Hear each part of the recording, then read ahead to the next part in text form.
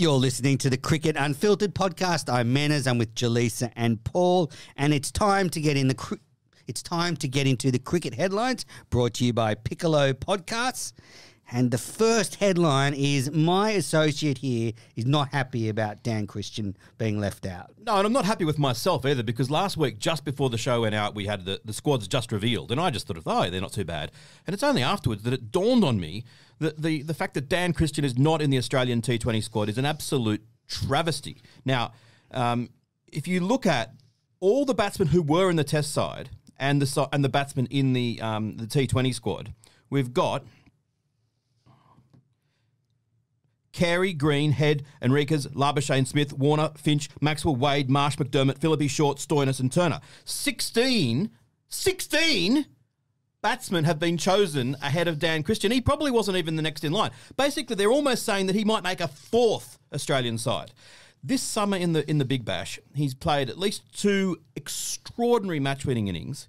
Um, he has the latest stats I looked at of all the players that were picked for the New Zealand tour.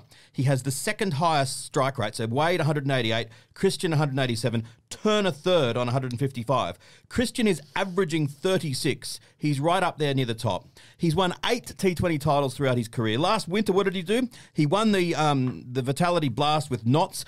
What did he do in that? He was the man of the match in the semi final. He was the man of the match in the final. When the Renegades ran it a few years ago, he was the man of the match. Don't tell me. He, he bowls as well. He's fit. Don't tell me that he's too old. He, if you were watching Australia and we're four for 70 after 11 overs in the T20 World Cup final, who do you want walking out to bat? You don't want uh, Mitchell Marsh walking out to bat. You don't want um, half those other guys. They're all good players. Dan Christian would give you that lovely, warm feeling it's going to be okay. Yeah, what about if you need Ooh, 40 preach. off three overs? You know, Yeah. he's the man to go out and smash a few sixes. Exactly. Who else is there that can do that apart from Maxi? And how calm is he? Like you just you just think, oh, Dan's going to be o- everything's going to be okay. We're going to win because Dan is there. I mean, I it's weird that his whole career I've always just thought, yeah, good player, but I've just gradually this summer realised that I'm, you know, and and this whole notion of he's too old.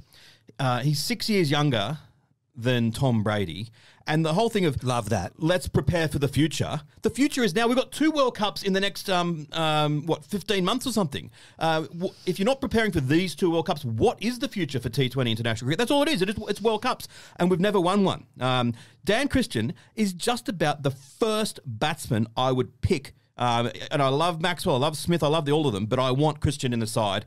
And I, I, I think, you know, I don't like to say match fixing, but there's something, there's, something, there's something extraordinary going on if he can't make the side. I fully agree with you. First of all, didn't know you had that decibel in you. Very, very, Oh, you. very, very impressed. um, yeah, look, I fully agree with you, but there's been a problem in cricket for a while, not just at a selection level, just but just as a whole in cricket that we do age people so quickly. You go, you turn 34 and you're done. Uh, and I agree with you. I think uh, age shouldn't come into it. It's ridiculous if someone, if the 38 year old is in the prime. James Anderson's career. 54 and he's still opening the bowling for England.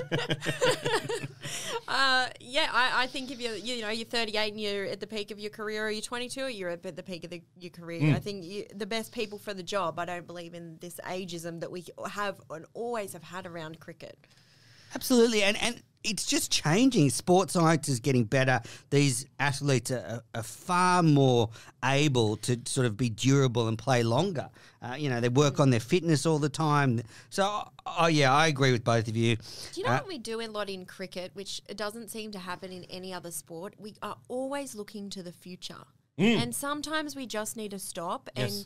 and look to the now because it's like, oh well, we can't pick him because in five years we've well, you know, oh, we've Cam- got- Cameron Green's coming! Yeah. How Or exciting! we've got, you know, we've Oh, got an Ash- we've got an Ashes series in eighteen months, but you know, like it it is important to plan for these things, but uh, sometimes there is so much forward planning that you sacrifice the now. Yep, I agree. So, uh, yeah, You're a turkey, Menace. Why? He's mocking there with the, the whole Pucovski and Green thing because they obviously are worthwhile players for the future. But Jaleesa's point is valid. no, but I- there is an uh, you know people do get too excited about. yeah, it. yeah. So you weren't mocking then. No, I was mocking. You're it. doing both. But, I mean, I just choose to ignore him. You need to learn to do that. I was I just block him out. I forget he's here. so mean, so mean. Well, From Madman Dennett to Mad Manners. Boy, have I been triggered this week. So there has Shit. been a lot of reporting in the the the Age and the Sydney Morning Herald, and it's been circled around Justin Langer's performance with the team. Mm. And I'll give you some quotes from Andrew Wu's article. And I think it was co-written with Chris Barrett, but I don't want to lump him in with Andrew.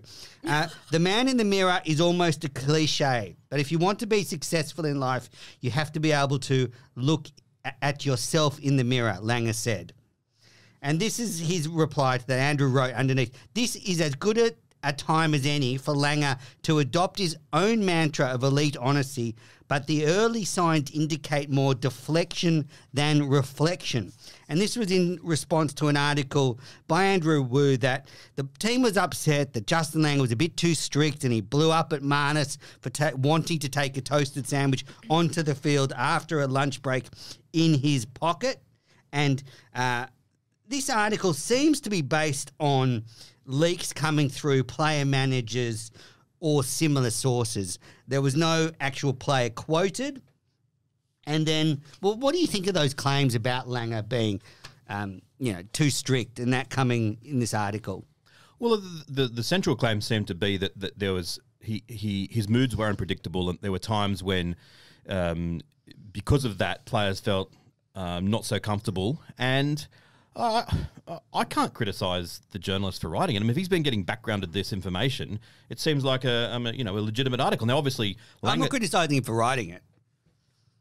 what are you criticising? I just, think, I, I I just think it, I think it's badly written. I don't think I actually don't think it's a, an article that has much substance to it. I mean, I understand why he wrote it because it would be hard to resist that sort of a temptation if you're given that information. But if you're a journalist, don't you sit back and go, they've just lost to India. These players are tired. They've been in bubbles for six months. This is just a few players whinging to their managers. There's actually no substance to this. Langer obviously he's an intense character. But what do you want to do? Go back to Darren Lehmann where everything's just, or you know, have a have a bit of a sit back and But relax. sorry, in Andrew Wu's defense, and I'm a big fan of Andrew Wu, that he is a journalist. He Yeah. isn't there to make sure the best outcome for the Australian team or the No, he's there to report stories. He's there to report stories, and this happened. I just don't think this is a great this story. is the information. Well, you can not like the story, but this is the. so player goes and whinges to his manager. That's a story now. If it comes out through the media, hundred percent, that's But, but a he story. And frames it. He have- frames it as there's a problem with Langer's coaching. But That's Andrew my doesn't problem. have a, you know, Andrew doesn't have an obligation to to first cricket Australia or Australian cricket or Langer No, or no, anyone absolutely. to be seen in a great light. Absolutely, but he goes in with uh, Langer needs to you know work on his coaching and reflect on what he's he's done over the season. Uh, I think the story is that Was a few players story- that have have a whinge. No, I think it's more than that. I mean, if you read the actual story, he says multiple sources close to the Australian setup have told the Herald of concerns about the demands on Langer. So multiple sources could be two, could be two managers. No, but the implication there is that it's it, it, it's something um, more substantial than that. Uh, dressing room sources say that over a grueling summer, Langer's management style wore thin with some players who, on top of having to live in a bubble for months on end, say they have become drained by his intensity and mood swings. And I'd say. To me, that seems like a legitimate article. Of course, Langer's not going to like it, um, and I maybe don't it's- expect Langer to like it. maybe it's been um, uh, maybe it's not quite as serious as it might be made out, but it seems to me like a legitimate article. And as much as I like Langer, uh, I could see how that would be. Now I'm not in there; I don't know what's happening, but I could see how Langer would be the kind of guy that when he got really intense, you would be standing there at second slip thinking, "Oh." God, I hope I don't drop a catch because I'm going to get blasted when I come back. And remember in, in the test documentary when Finch um, was it Finch who review didn't review um, and, and it turned out that he was out and he walked back off and Lang was absolutely fuming at him for not having um, called the DRS when you know these things are very very easy in hindsight and that that to me seemed like a strange thing for a coach to do. I, I've always been pleased with him being in the Australian coach. I think I still am, but it doesn't sound implausible that some of these things could be true and, and valid criticisms. And uh, quite frankly, when you looked at Tim Paine, that you know that whole sledging moment, then the how you know so defensive he was in that pro, first press conference, and then he reeled it right right back to being apologetic. I actually wondered then what what kind of pressures on. What kind of pressure internally is going on Paine? Well, because Paine, there's pressure to win the series against India. No, no, but what I'm saying, Manners, is Paine was taking the um, He's the captain. Paine was taking the blame. You're not listening to what I'm saying. I am listening. Paine was taking the blame in the dressing room for setting a bad tone. But obviously, there were, I felt like there was something external that was pushing on Paine as well. Like you, not one person, one person. I think it was the pressure to win. One person doesn't start getting edgy unless they are starting to feel not just the pressure to win. He's lost plenty of you know games. He knows how to lose, but it, it just felt like there was obviously t- tension everywhere. Well, that's because they weren't winning. That I mean, I, I think that comes down to the, they- the, performance no one on the was field. Winning. At that point, every it was no one had lost him. The No, match. but he, he, you know, they were desperate to win that test in Sydney, and that's what got to Paine because they couldn't get the wickets. But what you say about you know finding a few players, you could go into every cricket dressing room after every match or every series, and you could find a couple of players who weren't hundred percent happy with the coach. And all they've done is done that and framed it as the reason, one of the reasons Australia didn't perform well. No, I don't think that's right at all. I don't agree. I don't agree. I think you've taken the tone of the article wrong. Wh- But I don't think heard Andrew Wu on the radio yesterday saying Langer is now working through the process of reflecting on the criticism. I mean, all Langer does is reflect. I mean, every interview he talks about how he's reflecting on his own performances. I mean, this just seems to me that the players were annoyed, they were tired, they lost, and they had a whinge to their managers, and it got out. And I just don't think there's much to it. I think if you're a journalist and you're given this information and you're I not, I'm happy it, for him to write it, but I can still say it's not very good. But I think that your point that every time there's been a losing series that an article like this could have been written isn't true because articles like this weren't written. And I don't think it's because journalists have suppressed them. I think if, if you're the journo and you get this, you're going to write it. I- I, I think that that indicates that maybe there is something there. And also, doesn't mean we have to go back to Boof. There are other styles as well. You look at um, Trevor Bayliss, not that I'm saying he should be the Australian coach, but as England coach, he was renowned for being um, calm and laid back, and the players were knowing that they could go out there and express themselves in a one day, and knowing that if you jump down the wicket and try to hit it for six, and you hold out it long on, and the side ultimately collapsed, you weren't going to get a barreling because you were encouraged to express yourself, and that's the way we play. We're going to win a lot more than we lose would the Australian players feel that way? I mean, again, harking back to the documentary, I think it was Finch where he was um, he got his first Test century, and then I, I think there was one he was going to whack over long on for six, and then thought, oh, better play sensibly, and um, and and got um, got caught at mid on. Um, so th- th- there are other styles than either Langer or, or Lehmann. I, I look, the style of coaching is certainly there are different styles, but I just think this is what anyway. This is what Langer had to say in response to the article by Andrew, Wu, and this was on the Cricket Etc. podcast. Look, the only disappointing thing that I- is, is for me is that That off so you can hear it. I'll put. Uh, we haven't really explained the toasted sandwich. Like we sort of need to explain that in there. and Pete, you've known me a long time, is, you know, I read a piece today by Andrew Wu saying that I've got a, um, something about lead honesty and being honest with myself. One thing I'm very good at, I wouldn't be, again, like with having, me- I wouldn't be here now today unless I was great at self-reflection, great at learning. I get, I get advice from, um, you know, all the time. So one thing I do do is I learn and I get better. And yeah, I mean, the, the only disappointing thing from the weekend's report was that um, there was discussion that was coming from within the camp. And and I, you know me, I'm pretty simple bloke. I yeah, let's get this on the record. Yeah, I am intense. Yeah, yeah, and I am serious. Yeah, I am. Um, do I get grumpy sometimes? Yeah, I get grumpy sometimes. Um, I'm not perfect, that's for, s- for sure, but I'm pretty good at some of the things I do. Um, and you know, you just don't like it when you feel that um, you, that people are through managers or players or whatever, and I'd rather they come straight to me. I mean, that's that, that's the, that's the Australian way as I know it. No, just come and let's talk through it. Let's go through it, and we'll work things out. But um, you know, that's as I say, Pete. We'll learn from it. I'll learn Justin Langer there effectively confirming that Andrew Wu, Wu's article did have some accuracy.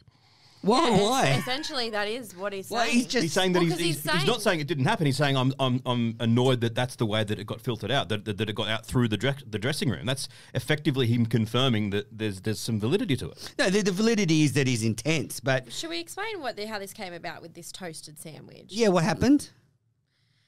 Well, you you explain, Menace. You Well, go. well Marnus after the lunch break, it was on the final day, the Gabba wanted to take a toasted sandwich out in his pocket. And JL said, I don't want you to take it out. It's not a good look. And I am 100% sure Marnus did not care that Langer told him not to take it out. So, uh, what's the big deal? I mean, I think it's a bad look. There's a 20 cameras at the Gabba. You're trying to win a test match, and if Australia lo- doesn't win, which we didn't, the next the, the, the photo on the paper the next day is Marnus chomping on a toasty at fine leg or something. You can uh, look. Yeah, there's plenty of cameras around. If a player's hungry and they can slip a toasty in between what seemed to be overs that were taking my whole life, do it. I don't care.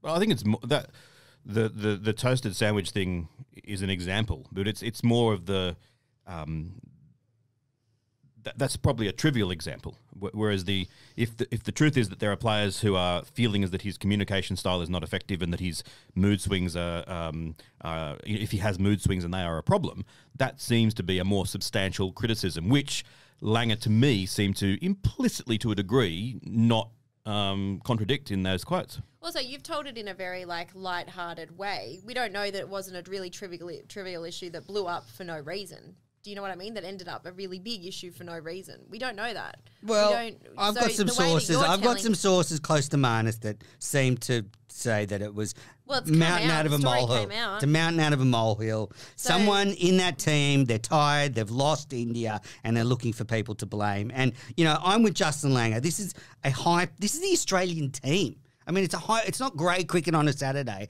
I mean. It should be intense. It should be, um, you know, driving high standards. Langer's not there to pat them on the, the back and say, ah, "Good, good one, mate," all no, the time. I disagree. Like so I, when sport starts getting intense and scary, and you can feel tension, I hate that. I hate it because it, but you're not. We're not saving lives. It's cricket. I know, And but- the thing is, is that people go to watch people enjoy a sport. I I I watch enjoy. I like watching enjoyment. I don't like watching Tim Paine looking tense and scared and and you know what that that kind of culture that leads to what we had in Sandpaper because pre- people are under pressure and they go they're scared and they're worried and then Exactly. they- Well, then it's the players win, pointing the finger at the coach. Taking on the chin, you weren't good enough to bowl India out. Had nothing to do with JL, and you're probably all grumpy and upset because you've been in hubs for seven months. So I, I just think it's um, completely poorly framed, and you know, obviously the players have had a whinge, and It it, seems like it's lo- it seems like the, the the Australian cricket team's lost a bit of its fun, and it's hard to be fun when you're losing a series against India on home soil. But I I just think like it needs to be. Oh, I think they still have a good time. I think they're a great. I think when They you got stories coming out like this through managers, that's not having a good time. But it. I think you cannot ignore when it's come out. They've just lost at home. They're all upset, and they're all pointing the finger. And you know, all it takes is a couple of players to have a whinge to their manager, and this gets out. And I, I just think it's it's a storm in a teacup. It may be, but it may not be, and I don't think we're in enough knowledge Well- to, to know either way. And I think that um, it's a it was an article that if you got that background information, you're going to write it, and I think it was an article that, that needed to be written if you got that information. We've spent 20 minutes talking about it. That's, Well, I- that means it was worth writing. Now, I would write that there's some players here having a whinge, and they should pull their finger out. That's what I would say. Um, anyway, um, thank who's, you. pay- who's paying you for that? Paying me for what? to write that. No, well, nobody, fortunately. uh, all right. Well, uh, so that was the the the latest controversy around the Australian cricket team, the toasted sandwich fiasco, which bled into the podcast. Did anybody like the real journalism here was what was on the toasty? No one got to the bottom. Ham of and cheese. well, yeah, they were uh, ham and cheese. Wasn't Oh, it as good as and mine. And I don't know if you remember Nick Maddinson used to do this in the Big Bash. But see, this is where I get it. Who you have a short break between innings. You've been batting. You got to eat something. I mean, you've just had a lunch break. I mean, it is a bad look to walk out. Uh, it, there's no doubt about it. Come on, JL. Oh, sorry, Menace. What's going on? Put that sandwich away. Sir Scoff a lot here. Um, all right, so let's get into the Big Bash. We uh, spoke to James Vincent, Carlos Brathwaite, who are playing in the final. They will either host the Brisbane Heat or the Perth Scorchers. When you're listening to this, you probably know which of those teams they're facing. But going back to the beginning of the knockout phase of the Big Bash, well, the Heat Well, let me just start off by saying there's been three knockout games. I'm curious. The Heat eliminated the Strikers, the Sixers smashed the Scorchers, and the Heat then eliminated the Thunder. All three teams batting first seem to have just come out of the box very timid. None of the teams batting first seem to have taken the game on. Uh, have you noticed that?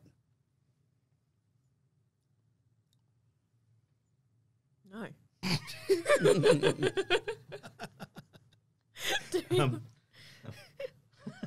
to be brutally honest. Okay, well, the the Heat um, eliminated the Strikers after the Strikers made seven for 130 uh, in their 20 overs. 130 is not going to win you many 20 over games.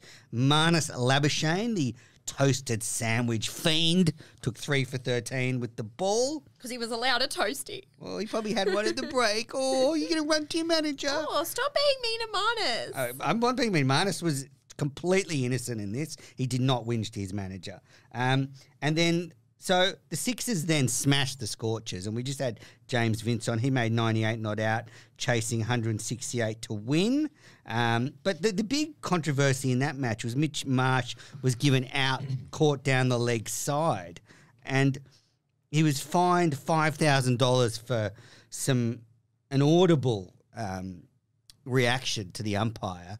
What, what do you two think? Was five k enough? Should he have been uh, suspended for a game? Uh, I th- I think no. I think uh, 5k was probably fair. If you keep if you do it again, I think you should look at suspensions. But obviously, it was a bit of an outburst, and given the nature of the big bash and that you've got kids and everything like that, you can't be doing that. But I think 5k is your first warning's all right. one of my great regrets. is tax deductible. One of my great regrets about my lack of cricket ability is never getting to play in a tournament where there isn't DRS and doing the DRS sign. That's what I would do if I was Mitch. I would have reviewed it like that and made it so ostentatious. Yo, I want to review. I want to review. Oh, there's no review. Oh, I didn't hit it though. And um, uh, like I just think. Cricket Australia is the ones to blame. They should find themselves for not having DRS.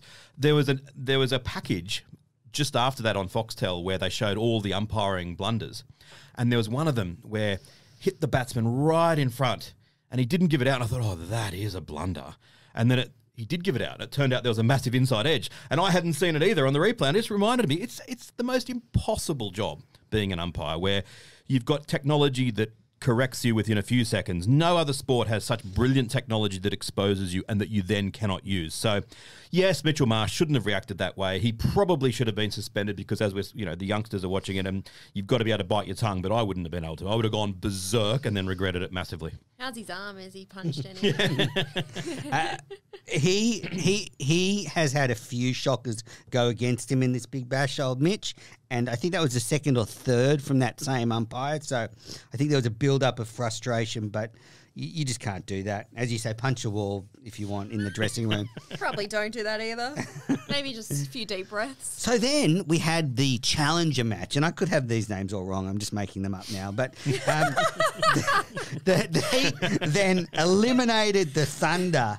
The who- eliminator, the, challenger. The, the challenger, the eliminator, I don't know. But all I know is the Thunder finished third on the ladder. They looked so good throughout the tournament. And then mm. they faced the Brisbane the battling Brisbane Heat. And the Chunder just limps to eight for 158. They never got going. And actually, it was a pretty tense chase. But in the end, the Heat got there pretty comfortably. Three for 162. Sammy Heazlett. Yes, the guy who played like one one day international for Australia 10 years ago made 74 not out of 49 deliveries. Jimmy Peirson, the little keeper that keeps going, 43 not out off 24. So that means the Heat take on the Scorchers at Manuka Oval. That game really showed um, how reliant they were on Alex Hales. When he when he failed, they failed. Yep. And that's unfortunate. You have to say disappointing exit for the Thunder. They Yeah. one and done. Disappointing for me because all season I've been quietly sort of indicating I think they're going to win, and sort of sounding like I- I've got sort of uh, a little bit of uh, upstairs power thinking that through, and then you know, Brain power, yeah, upstairs like power. I'm, you know, that's what I'm trying to think. I wanted a derby too, derby final, given it was at the, going to be at the SCG. Mm. And then the the match between the Heat and the Scorchers has been played at Manuka Oval because of the lockdown in Perth. So no home ground advantage for the Scorchers, which is a big one. And uh, I guess It's going to be a huge final on Saturday night at the SCG. Um, the, the ratings for the Big Bash have been very, very good. Um, this Channel 7 continue to draw strong audiences to their test and Big Bash cricket. And at the same time, they're going to court and asking for a reduction in their their rights fees and their PR departments releasing press releases saying, oh, record ratings for the cricket. So uh, I don't know if they've got much chance of winning that case now. Yeah, it's it's it's funny, isn't it? Um, what would be great is if they could say, right, South Africa, come over here now, play a five Test match series in all the main venues, have it on free to air TV with nice bouncy wickets and everything else. It would rate the house down. Obviously, you'd have to push the um, the rugby league and AFC, AFL seasons back a couple of No months. but- problem. But, that is, it. I touched on it last week. It's one of the sad things about the international cricket season for for men's international cricket season now. It's it's over so quickly that I'm already, you know, I can't believe it's gone, come and gone. It'll be disappointing, I think, if it's not the Scorchers in the final because uh, I can't They're clearly the second best team. quite clearly. And the Heat, I can't see them doing much against the Sixers. I almost think that would be a little bit of a dud final, but uh, prove me wrong. But yeah, Prove I, me I- wrong, I really hope, Chris Lynn. I hope it's. Uh, I really hope it's the Scorchers because I also think there's now like a bit of like fire. Now there's like the you know the tie incident and everything. and the James Vince is now like a little bit which you don't get, Undercurrent. which you don't get in the Big Bash because everyone's so damn friendly. Actually, I was looking the other day. uh, I, I compiled stats on every single Big Bash game ever, just for my own fun. And um, Betting? no, it wasn't betting. It wasn't betting. um, it was um, actually. Ladbrokes. Actually, I'll read them out because they're actually quite interesting. Um, Usually a preface to a boring Please story. read us. But anyway, please read us your account balance and yes, and your tips. and login and password. yeah. Scrolling through fifteen. I'll cut this bit out. 1500 bets. Well, this video is going live, so Okay, so in the history of the Big Bash, in terms of regular season games, every club has now played 99 oh, I saw games. this. Yep. So it's kind of almost a percentage. And the um, I was actually just to, before I pref, this is a great thing you put together. thank you. I really, when I saw this, I was like, this is very Did you put revealing. this together? You haven't. and can you? taken I, can we start at the bottom, please, and work our way up? We can start the bottom. And, and by the way, in putting this together, I was checking on Wikipedia and other things. It, it mentioned the big rivalries of the Big Bash, and one of them was Sydney and Perth. And I was like, oh, they've almost already classified it as a derby, which you know, Well, they played a couple of finals at least against each other. sixty-hour drive between the two cities, so it's a pretty adventurous derby. But anyway, um, so we've got ninety-nine matches regular season. Thunder in last place. Hang on, what is this start for? Sorry, we So, haven't uh, quite the explained. both what total this is. wins in the Big Bash since Okay. it started. So they've Go all on. played Yes, go 99 on. games, Go on, go and it's who's won. And excluding Okay. sem- excluding semis, just in the the, the, regular, regular season, season. Okay. Thunder have won thirty six. they have won one title though. Heat forty three, Unsurprising. one title. Renegades forty three, one title. Jump up to the Hurricanes forty nine, no titles. Matty Wade. Strikers fifty two, one title.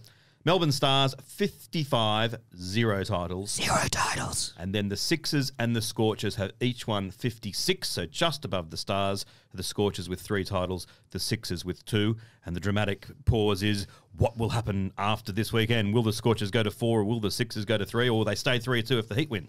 Da, da, da. Wow, So, yeah, very that was- exciting. Very exciting. That's really cool. Uh, but I think it reflects what I would think that the Scorchers and the Sixers have been the two best performed teams throughout the competition's history, and the Stars as well, but just haven't been able to win finals. Yeah. My, my poor Chunder. Yeah, poor Chunder. Raiders fan and a Thunder fan. It's a hard life. Now, staying on the Big Bash, no surprises, but Michael Klinger's out as Renegades. Co- is out as Renegades coach. He took the job on before last season and he's now left that role to take on a job at New South Wales Cricket as head of male cricket and he'll be working with the Shield side, both Big Bash teams and the development squads. Uh, so I think that's a, a um, good thing for the Renegades to find a new coach that um, has some experience in T20 cricket coaching, like uh, Cameron White, Brad Hodge, Chris Rogers, and even Trevor Bayliss could all be candidates. And uh, yeah, I'm sure he'll do good things in New South Wales cricket. Just guys, be quiet. Um, all right, next one. All right, let's have a longer point about Michael Klinger. Go Klinger. Congrats on the pay rise. Like, what am I? The three people in Australia who have heard of him are sitting in this room. All right, someone that people have heard of. Do not put that in. That's so. No, I'm not going to put that in. That's going to. I'm, I'm responsible for the edit this week. Oh, That's- good. I said that knowing you that. have the. Yep. I'm Swervin, glad you've got responsibility this week. Swervin Mervin has been Oh in. no, this was my can't let it go. Okay. Great. Someone didn't read the notes again. Uh, all right. So Stay Murphy has been inducted to the Australian Cricket Hall of Fame. Moving on. Um, no. All right. Also, last headline, and it's something that I think will really tickle Paul's fancy. India are hosting England in a test series starting later this week. And I know Paul's very passionate about this. It's on free to air television in the UK on Channel 4. Now, would you like to do a little dance? Do you want to? It's on know, free to air television here. No, it's not. It's on Foxtel here. Oh, sorry, Foxtel. It's on Channel 4 in Sorry, England. my bad. It's- Ignore me. no, it's okay. Well, it was weird because I saw on Twitter some speculation that maybe Channel 4 will get it. I thought, that can't be right. That's too good to be true.